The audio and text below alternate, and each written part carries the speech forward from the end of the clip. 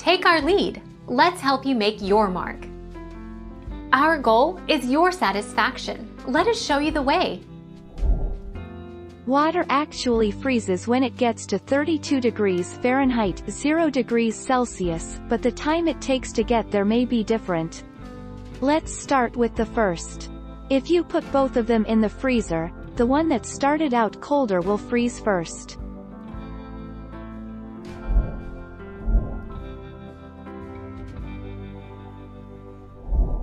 Make your mark. Take our lead.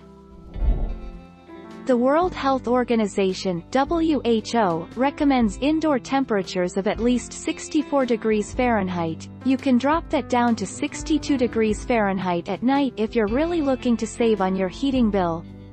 But if you have infants, sick or elderly people in your household, then it's recommended that you keep the thermostat set at 70 degrees Fahrenheit.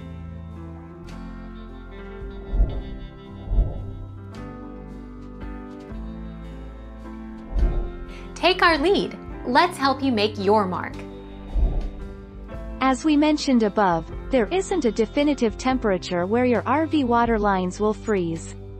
However, you definitely need to start to worry once the temperature gets below the freezing temperature of 32 degrees Fahrenheit or 0 degrees Celsius.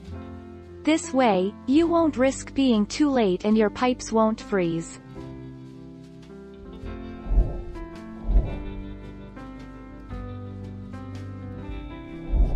Take our lead. Let's help you make your mark.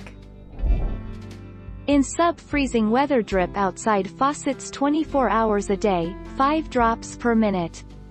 This is not necessary unless temperatures are expected to be 28 degrees or below for at least 4 hours. Be sure to turn off the faucets after the threat of freezing weather.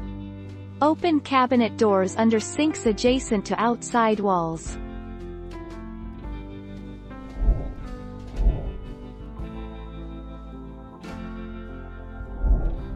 Take our lead. 32 degrees Fahrenheit. This can happen anytime the air surrounding the pipes reaches below freezing, which is 32 degrees Fahrenheit. As the water heat transfers to the cold air, the water temperature drops to the point that it starts to freeze. Ice in the pipes causes a pressure backup, which can cause the pipe to burst. Thank you for watching. Please subscribe and hit the bell notification.